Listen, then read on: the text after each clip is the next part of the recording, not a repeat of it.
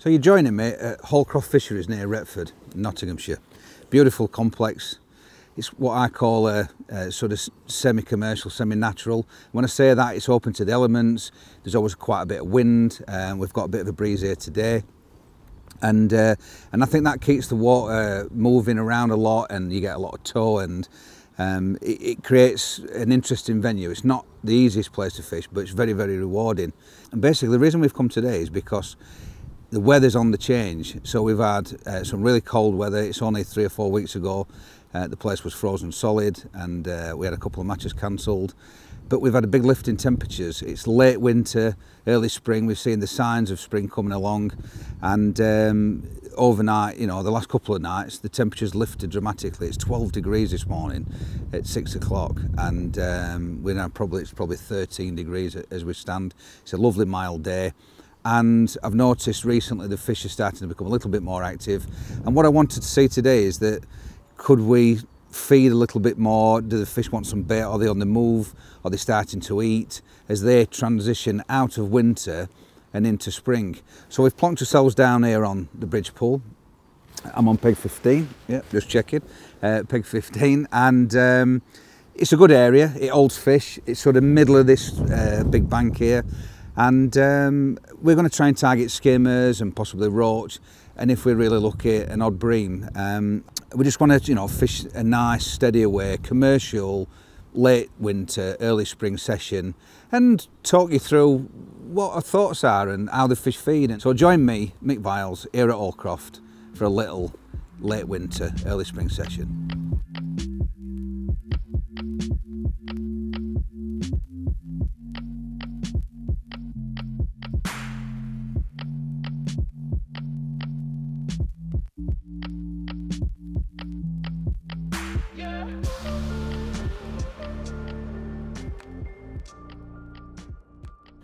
So I've gone for my go-to mix uh, for this time of year. First thing is it's dark, you'll notice it's a very dark ground bait. And that's basically, I've mixed up two and a half pints of uh, F1 Dark and half a pint of Thatcher's. What I have done is I've mixed it on the damp side, so it's almost, it's not wet, but you can see it's quite it's quite damp, a little squeeze and it, it makes quite a ball and you can hear how heavy that is. The reason for that is I want it to be heavy. I want it to sit uh, down on the bottom. I don't want it to be dry and fluffy and whizzing everywhere because the skimmers uh, on, on Hallcroft especially, or a lot of commercial fisheries, uh, especially in seven foot, you know, seven and a half foot, what is probably what we're going to be fishing in today, they want to sit off bottom and I don't really want to encourage that. So what have I brought bait wise? Particles. Um, just get a little sieve out of the way. So part of casters, part of maggots, um, essential here. I'm just going to put them in that bait tub. And then a couple of little tubs here with some deads in. So these are just in water. These are my dead reds. And what I like to do, because I think it keeps them better, is I like to drown my maggots to kill them. Some people like to scald them. Some people like to bag them down. I basically, the night before or the evening before, the day before, which is, you know, even better if you can do it at least 24 hours, is pour some maggots, quarter a pint in there, uh, cover them with water. I just use these little uh, Tupperware containers, if you like, with a little seal on, leaving them in the fridge, and that basically kills them. What it also does is it maintains the colour and the texture. It makes them, you know, sort of fairly soft, nice to hook, and I think more natural, um, like a dead maggot as opposed to a scalded one. So I'm going to add a few of those into my mix. Uh, I'm just going to get myself a bowl because um, I like to just sort of prepare it in a, in a one and uh, basically I'll take a measure I've got a pint measure bait tub and I'm just going to do a couple of pints of that into a bowl so that I can sort of use that as a record um, and an understanding of what I've fed, how much I've fed. So if you come back to a venue or you go to another venue, you've got somewhere to sort of work from, uh, some idea of what you've what you've done. And to that, I'm just going to add uh, some of my dead bait. I've done a few dead pinkies as well. So it's a good pinch of dead maggots. Nice pinch, similar sort of amount of dead pinkies. They're mixed fluoros. And I will drop an odd caster in there just to kick me off. I always like to have a few casters on the bottom. I find that they're um, a bait for big fish and it just sort of, they sit there quite dormant and they'll pick a nodding up. I'm not going to put that many, I'm just going to put a pinch in. It's more of a psychological thing. But what I will actually do, um, because I intend, so a pint of maggots and pint of casters, I intend to loose feed um, casters on, on a shorter line, which I'll go through uh, with you. And basically, the maggots, I will probably uh, be tempted or inclined to loose feed a few of those over the top of my long line to draw the fish down and pull them into the swim and encourage them because they sort of sit up and sometimes they just sit mid-water and you can't make them go down to the bottom and the loose feed just gathers the fish and sucks them and, and pulls them down and allows you to be able to catch them. But we'll find that through the session and you know we'll understand what's happening today. Um, but the casters will certainly loose feed on the short line because that encourages bigger fish. We'll probably catch a few roach on them first because that seems to be the way uh, at this venue and then hopefully uh, the big bream will come in later on, push them out and we'll catch them later on in the session. So let's give it a whirl. So we've got settled and we've got his peg, we've arranged his bait. Probably really important to talk about some rigs. Um, so I've decided to fish because I know the lake a little bit, 13 metres uh, long for skimmers and bream, and then shorter just at the bottom of the near side shelf, which will be basically the top three um, or top four in old money because these don't have a number one in, and then two sections, so about six metres. And I've set up two rigs for that, dead simple, a 4x14s, nice and slim, which is ideally to lay in nice and uh, keep in that line nice and tight and catch fish as the bait's falling through the water. And then a 0.6, which is more of a round bodied float, uh, little over tip uh, with a sort of wire stem. And then that's more stability so that I can drop it in nice and firm and hold on. That's got about four inches uh, on the bottom, uh, so that's over depth basically. All the lead is spread uh, in the bottom, 450, 500 milli, uh, millimeters, and it's bulked and then the shots are spread 16 hook lens they've got nice light uh, Gamakatsu gamma katsu green hooks and they're 16s which sounds like a big hook but it's actually very very light. And then from a short line I've got two rigs. Uh, one is a 0.4 bolt and that is exactly bolt. And that's 400 millimeters from the bottom with just three droppers so I can just see that upbait falling. And then I've got one that's sort of 450 500 mil spread. If I'm if I'm going to catch roach uh, before hopefully the bream um, turn up at the end we could catch a few bream a few big perch on that short line. So my long rigs are set up on four to six um, zip hybrid elastic. That's a little bit more forgiving. There's a lot of poles a little bit of wind. So when I strike I need a bit more forgiving. Whereas my short rigs are on six to eight because I want to set that hook. I might hook a carp, as I said, I might hook a big perch and I want to set that hook into that. Um, my little bolt rig, which is more positive, has got a slightly heavier um, GP 109 on and that's in a 16 and I can use double maggot and that sort of thing like that. So hopefully those rigs should put us right for today's session.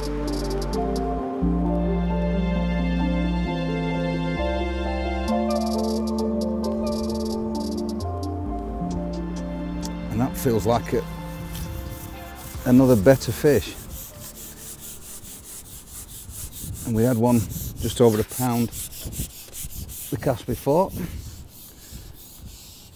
If it don't get too bright and this wind behaves itself, we might finish up catching a few of these. I'm just going to take the opportunity to feed my short line. And that one strangely enough, was also wrapped around, and that must be the way that they're feeding. So it, when I netted it, the the line was round its fin, but it was actually hooked in the mouth. And that's as these skimmers are dipping down to the bottom, and you can see the bites and the indications on the floor. And the beauty of today is that we've got a nice bit of tow, which allows us to keep a tight control on his rig. Um, and in some ways that's a fantastic advantage, but in others it means you see everything because your line's tight.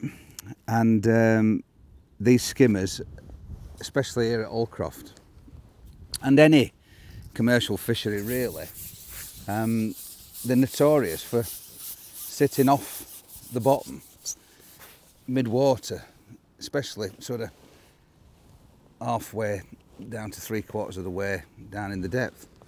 So what I'm actually doing, and I think that's what's promoting bites for us, is to uh, keep trickling, or pinging as we call it, an odd maggot, so half a dozen maggots, and I'm just trying to sort of put them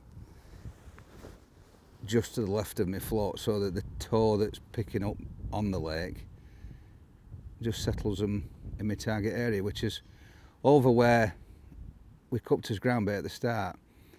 And um, that ground bait were quite quick to work. So the decision to pot the ground bait in not in balls but in a firm sandcastle I think the nickname for it is that all the guys used it.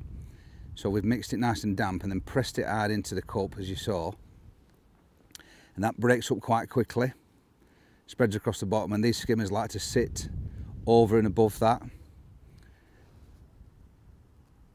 But as I say, over it and not down on it. I think it's a massive myth that bream and skimmers live on the bottom. Not true, especially here.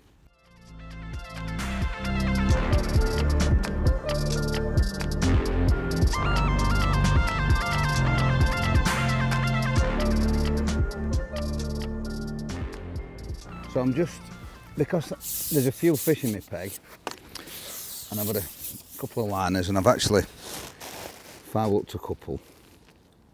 I'm just going to put a little firm ball with a few dead maggots in, just to try and concentrate the fish and draw them back into the bottom of my peg because it's not good having them in your peg if you're actually not catching them. So I'm just going to,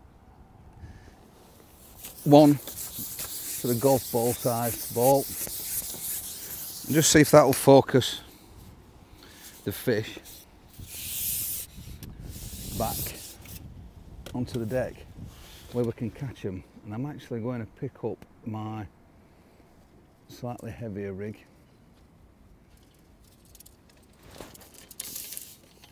for the same reason. Slightly heavier float in the shape of a 0.6.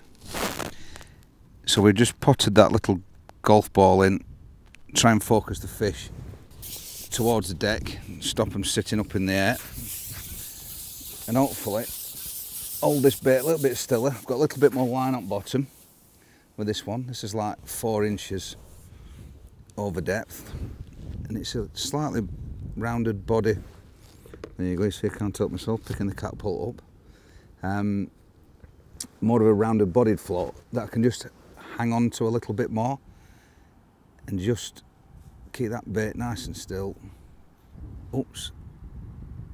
And as if by magic. And that looks like a nice fish as well. And that will literally first drop. So without jumping to conclusions and claiming I've created some kind of miracle, that little bit of action seemed to work. It's not a big fish. But it were quick, it were instant, and it were response to a little bit of action. And understanding what's happening in your peg is one of the keys to keeping fish flowing, building a weight, especially if you're in a match you're in match conditions. You can spend a lot of time chasing shadows, and at the end, you've not really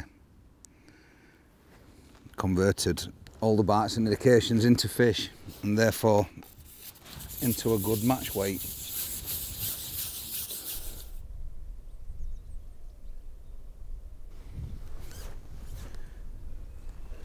So, not the biggest fish we've had, but it seems that these which sometimes can be quite aggressive feeders despite the delicate nature of small skimmers. I often find that when there's a few of them, they're very competitive. I'm still loose feeding my short line because it's probably not towing quite as much there because it's not out in the middle of the lake. I mean, that's obviously 13 metres where I'm fishing. Out in the open water and you get more circulation of the wind and the tow and that's we've got quite a bit of tow on that but that's probably not the case closer in. So for the time being I'm still loose feeding. Hopefully drawing in fish all the time we can drop onto that as like a quiet swim. Swim that we've built slowly where fish are comfortable they've gained confidence which will allow us to drop in and catch a few better fish. That's bite straight away. So it is quite obvious that the smaller stamp have reacted to what we've done. But nonetheless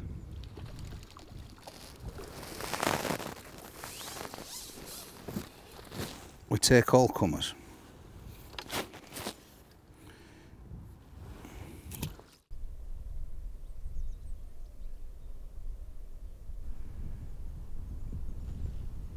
That's a bite, look straight away, that looks like a better fish.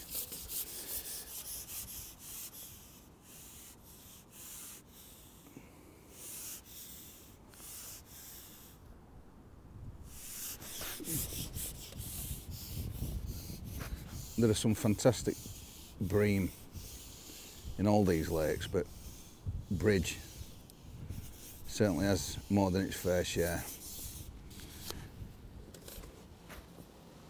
Surprising, you know, I've got that light hook on, and that's a nice older specimen, brown in colour think he's a little bit older. Won't call him a virgin fish, but more than welcome.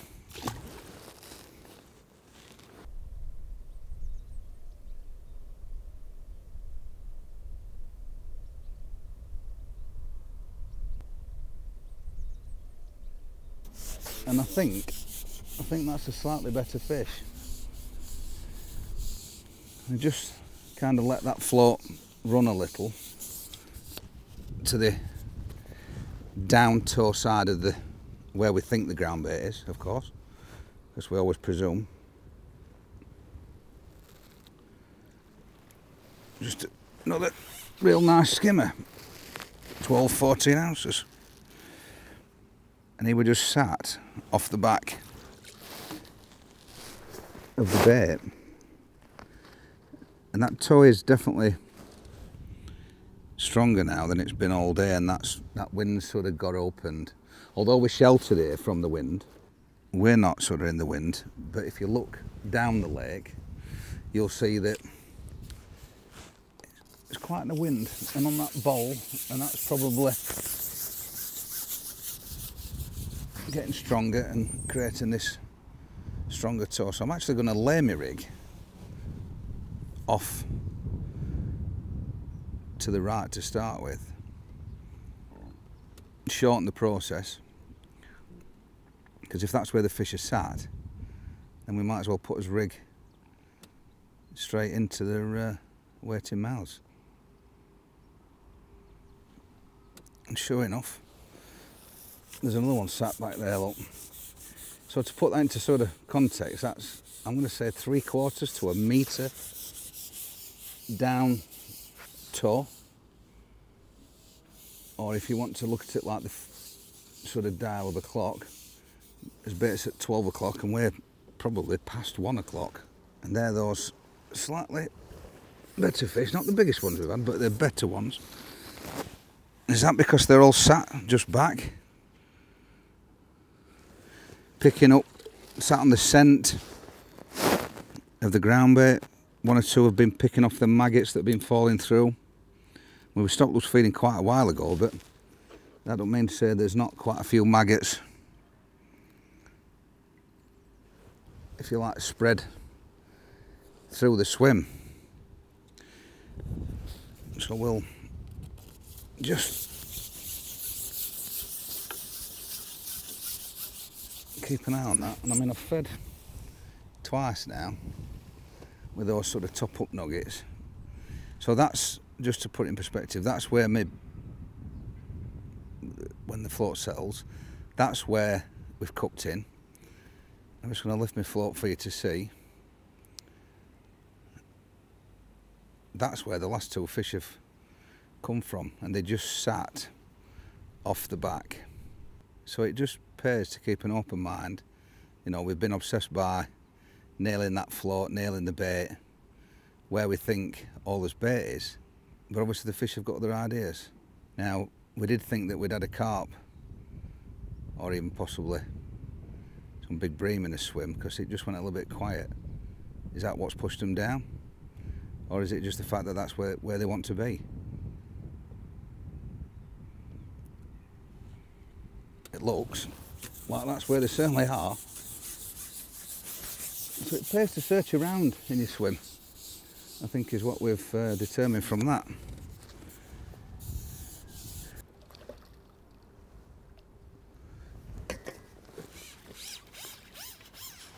And the, them last three fish have all been peas in a pod.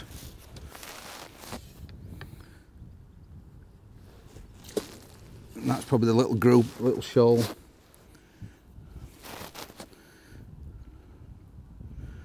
Together.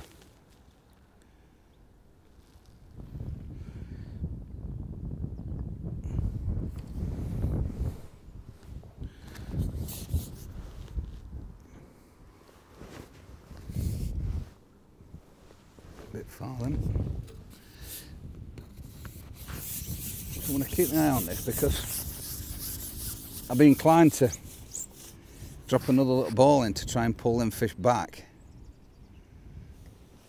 to where we think we should catch them but if they want to sit there the chances are that we'll catch a few and then they might move back onto the bait when we've disturbed where they're sat. I don't want to overfeed it just because they they've gone off the bait doesn't necessarily mean that by feeding it we can draw them back onto it. They might actually we might have put too much bait in. Time will tell. And sure enough, I mean that I'm going to say that we're even further away. That were a metre and a half. There's always a lesson in fishing and just when you think you understand it, the fish will teach you otherwise and every day's a school day as I was once told.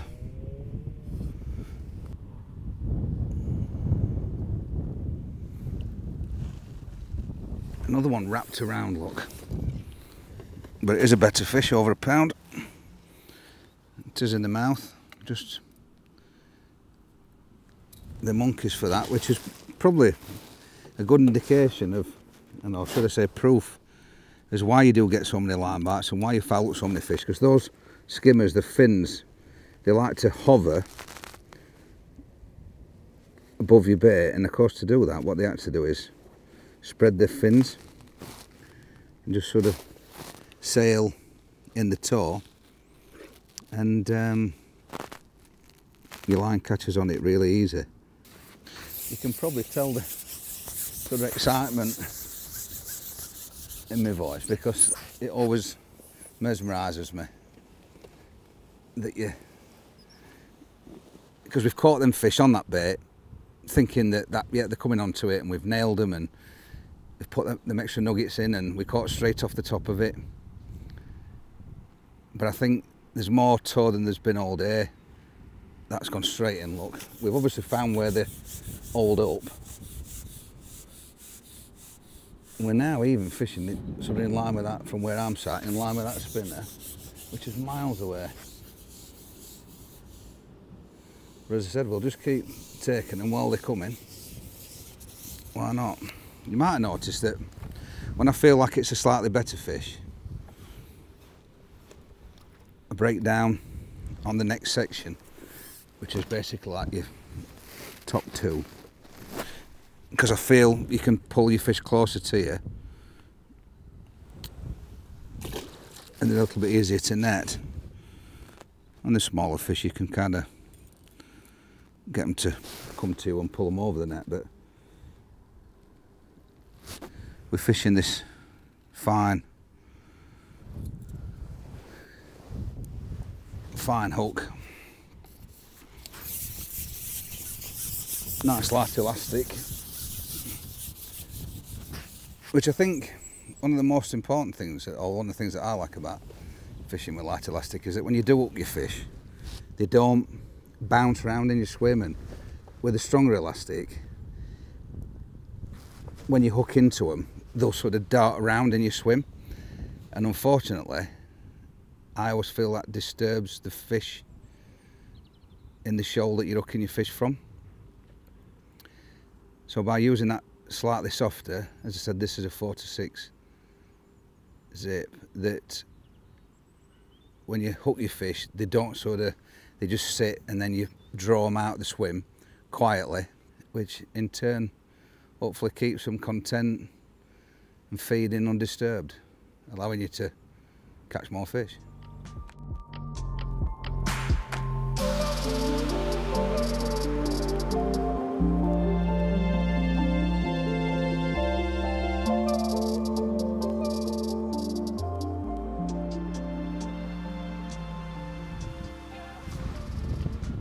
Oh, that could be a bream.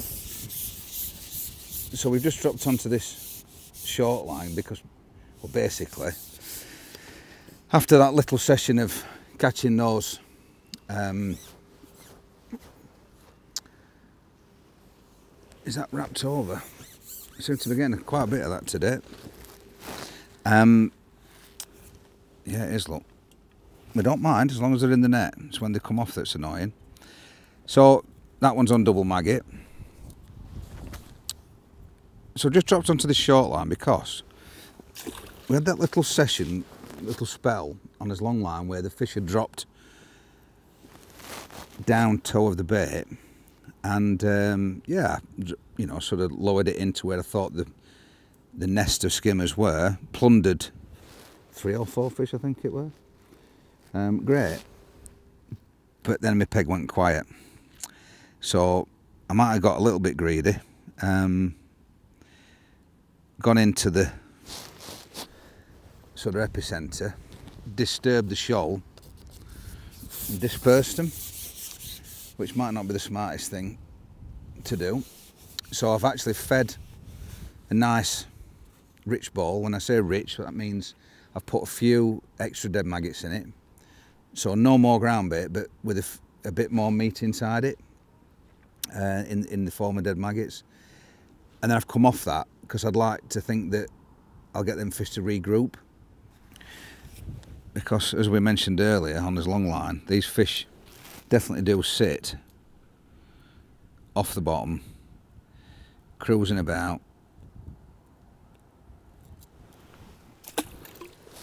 in the uh, in the tow just dipping dipping down to the bottom as and when they please. They're not, as textbooks would lead you to believe, all tails up, heads down, bunching away on the bottom. It's a, it's a fallacy. Which I think today's session and some of the bites you've seen and you know how quick they've come after laying the rigging and the indications, I think that's probably been a good way of demonstrating how these fish do feed.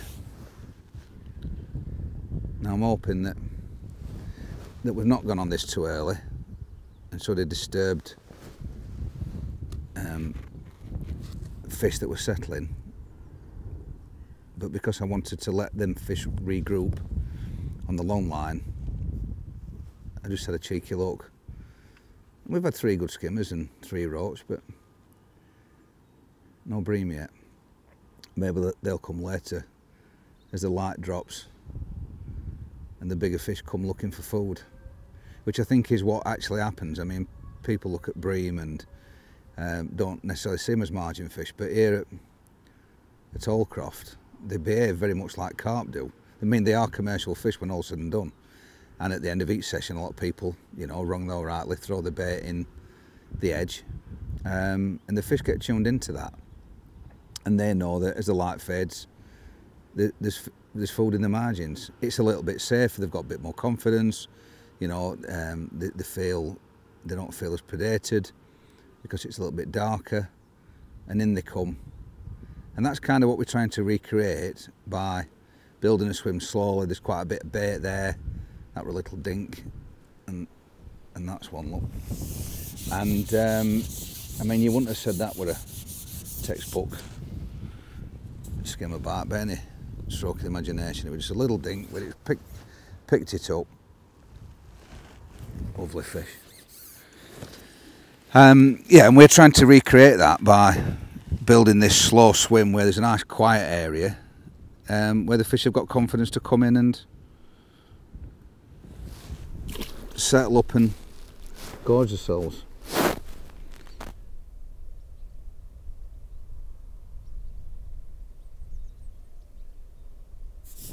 So basically we left that line because we felt like we'd dispersed the shoal, fed and left it alone while we had a little look on the inside line. And I think that's four fish in four drops when we've gone back on it and one of them were a two pounder. So it just goes to show that resting your lines can be massive. What I have noticed um, while we've been resting it, that wind's just changed direction, and this is something that you should always observe. Excuse me. Um, when you're fishing, is that the wind's kind of more. It was more off my back, and now it's more down, and and that's completely changed. sent the ducks up as well. Um, it's completely changed the tow, so it's not towing as much. So I've also just picked my catapult up because, as we were saying earlier, when it's not towing as much, the fish are kind of inclined to sit up in the water. when it is towing, it kind of pushes them down and makes them feed. We probably need to um, just pick that catapult up again to increase them fish to follow that loose feed to the bottom draw the fish down to where we want them. It might be worth picking up the lighter rig that we had on earlier that will allow us slower fall of bait because if they are sat up off the bottom and we don't need the stability, that would a poor effort of a bite. it we're just holding on to it and that's another sign that it's not towing as much. The bites in general when it's not towing never as good because the fish aren't moving as much. They're sort of sat, they'll mouth the bait and sit there with it in the mouth so despite that I've just had a couple in a couple of chokes I'm just going to swap that rig for the slightly lighter one which is a 414s if you remember from earlier and that should just allow me to hang on to the float it's a different shape and where are you? There you are. it's a slightly different shape and that allows you just to hang on to the float and sort of hang that hook bait, hang your hook up in the water a little bit more. Giving you more time for fish to intercept your hook bait as it's falling through what I suspect is a suspended ball of fish.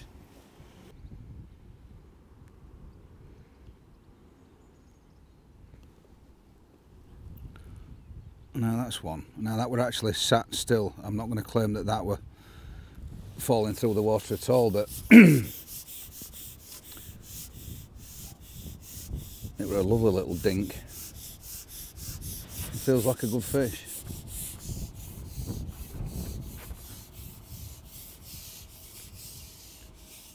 Now this is on that lighter hook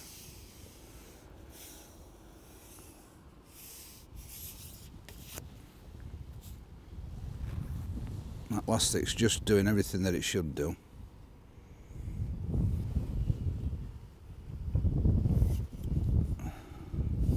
Might even need to pull a little bit of that elastic. That's the beauty of side pullers, even on light elastics on your silverfish rigs, that you can use a soft elastic and every now and again you'll just need to just tension it while you're netting your fish. Another two pounder. Beautiful. Now we have just been tr trickling a few maggots in, so you know you've got to sort of keep yourself busy, keep your peg active, ring the changes, and make sure that you don't just sort of sit there thinking everything's gone and they're not feeding anymore. Always presume that the the fish are there, especially when it comes to these skimmers. They can be an enigma, to say the least.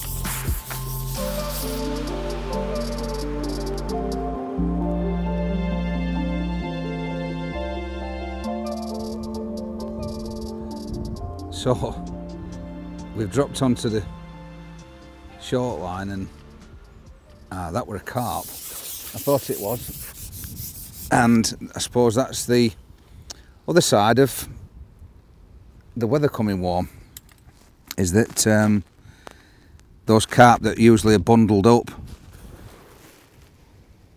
in uh, in the corners or under the reeds and things like that start to move looking for bait. And of course we uh, we're bound to encounter a few and that was one. Let's see if there's a bream sat behind it though now that that's cleared off out of the swim. And that had had it in its mouth because the bait were chomped. Sure sign that the fish are feeding. And there's loads of indications and dinks and taps and because there'll be roach there and skimmers and straight into a fish which I'm saying isn't a carp. And that just goes to show you look. Literally. Within seconds of dropping it back in after losing a carp. And that is exactly what we've built that swim for all day. Some of them. And I'm calling that a bream. Beautiful.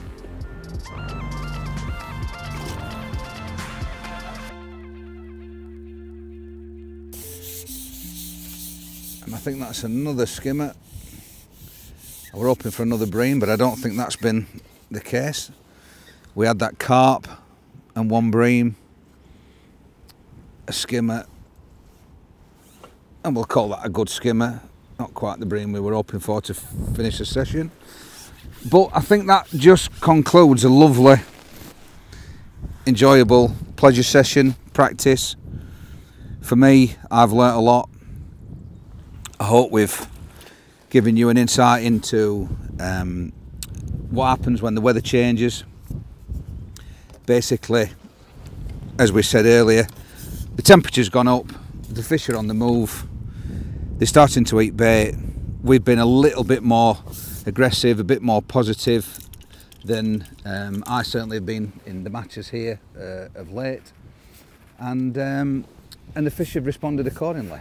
So just keep an eye on the temperatures, keep an eye on the weather, look out for local match results, find out what's been caught and you know what people are catching, what sort of fish. And um, you know that's the way to learn and to give yourself more chance to catch more fish. I've had a great session and thanks for joining us and uh, we'll see you again soon.